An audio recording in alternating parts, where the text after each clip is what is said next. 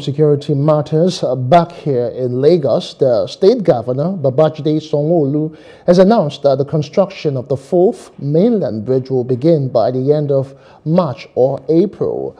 The governor stated this in his keynote address during the Lagos West Senatorial District Town Hall meeting, which held in Ikeja. Our correspondent Love Ikuku Oyedokun was there and now reports. This town hall meeting is a first in a series that will be done across other senatorial districts of the state. It is aimed at showcasing the works of the administration and also get necessary feedback from the public. The arrival of Governor Babajide Sanwo-Olu signifies proper take-off of the program.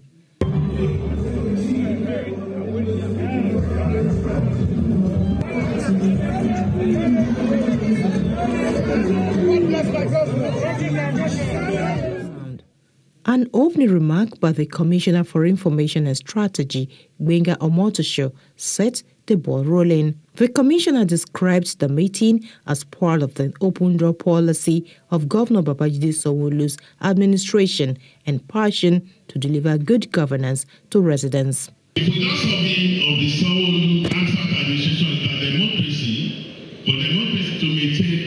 excellence, the active involvement of the people in governance must be encouraged. And that is what we are doing in Lagos. This is because the citizens, they are the bedrock of democracy. It is therefore in furtherance of this principle that we are gathered here today to further promote our agenda of running an open government, a transparent government, an all-inclusive government through the instrumentality of the Themes Plus agenda. Thereafter, Governor Sanwo-Olu briefed the gathering on the level of major projects being undertaken by his administration. He explained that some discomfort would be experienced, but however, assured that compensation would be paid to those whose property would be affected. We built more schools in the last four years than we've done in the last eight years prior. We built more hospitals in the last four years than in the last eight years prior. The records are there. We have intervened almost in all spheres of life. And so we want to do it for the next three and a half years. We want to even do it faster and quicker for you. We want to ensure that even if it is on a on a garden, that last part is pending for us, that we keep it going. That is on the road that we're doing for you. We get in there and we clean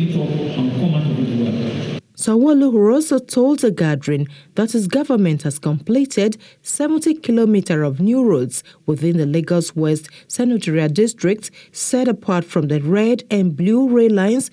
Plans were also run to execute the green and purple lines for Lagos East Senatorial districts. I just want to encourage all the citizens, you my great Lagosians, that we will not stop anything to ensure that your aspiration for a greater Lagos is achieved. We want to tell you that you should not despair because we believe that better times are ahead of us.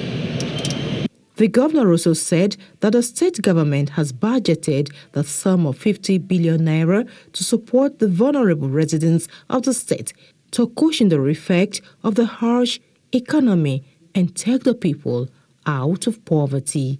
Love Ikuku Oyedokun, Plus TV News. Hello, hope you enjoyed the news. Please do subscribe to our YouTube channel and don't forget to hit the notification button so you get notified about fresh news updates.